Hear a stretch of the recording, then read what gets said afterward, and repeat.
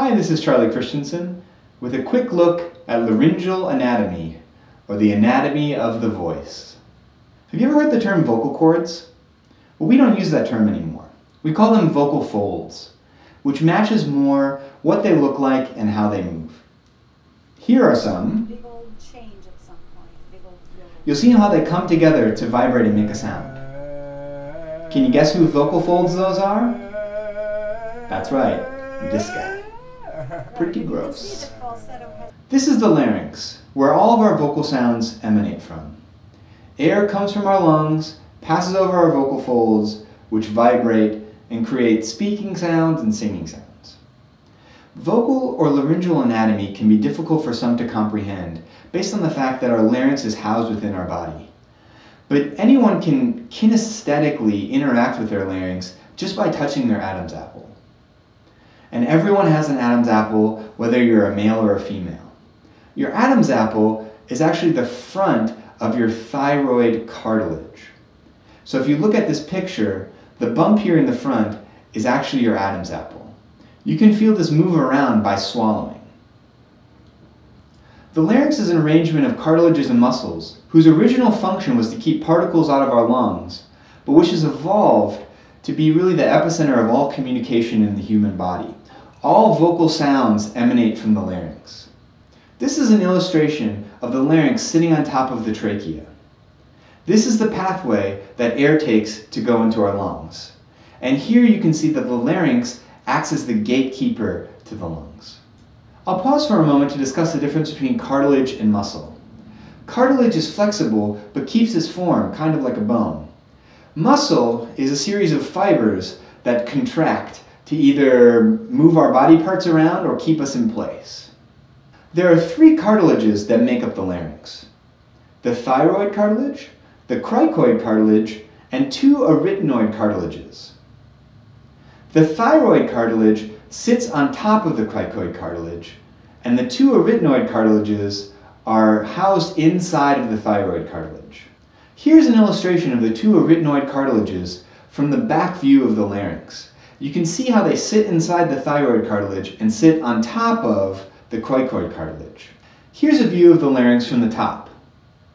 And here you can see the two arytenoid cartilages sitting up top, housed within the larger thyroid cartilage.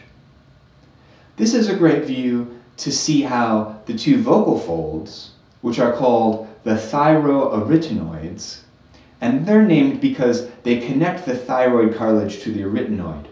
You can see how they're stretched across the span of those two cartilages. These are our vocal folds, and when air is blown over them, they vibrate, creating the basis of all vocal sounds. The two arytenoid cartilages, which your vocal folds are connected to down to your thyroid cartilage, can come together and move apart. When you take a breath, the two arytenoid cartilages are apart, allowing air to pass through. But when it's time to talk or sing, they come together. Even just by thinking a pitch or thinking about something you're going to say, your arytenoid cartilages will come together and stretch to make that pitch. There are a number of muscles in the larynx, but the two most important types to remember are the thyroarytenoids, which span from the arytenoids to the thyrocartilage.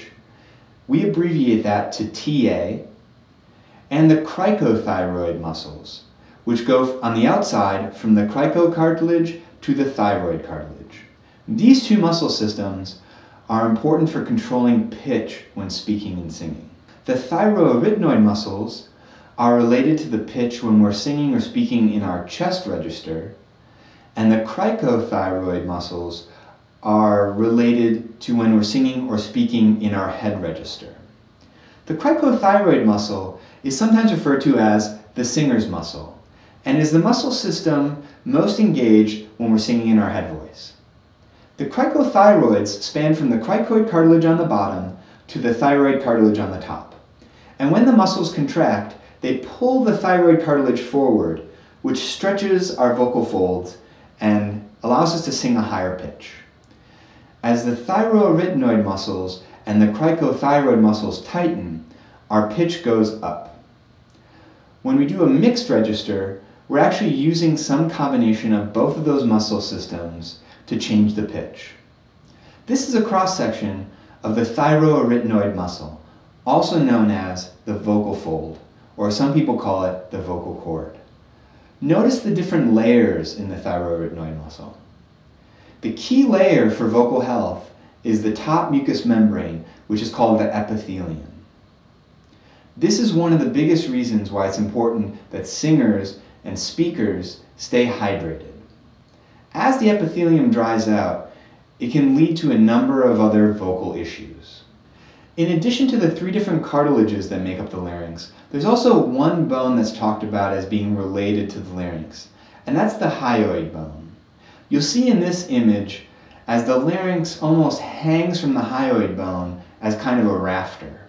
In addition to the intrinsic muscles of the larynx, there are also extrinsic muscles that surround the larynx. These are important to consider because of their relative size and strength compared to those intrinsic muscles in the larynx which control our pitch. And this is why many voice teachers will go for a free and relaxed shoulder and neck. If you ever see anyone's vein popping out of their neck, they probably have some tension in these muscles, and that tension is likely translating to the larynx. The larynx is just one component of the vocal instrument, but it's important to understand as a fundamental building block towards many other concepts, including registration, phonation, and vocal health. Thanks for watching.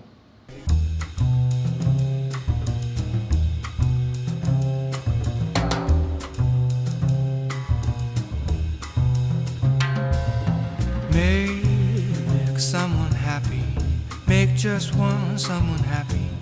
Make just one face to face you.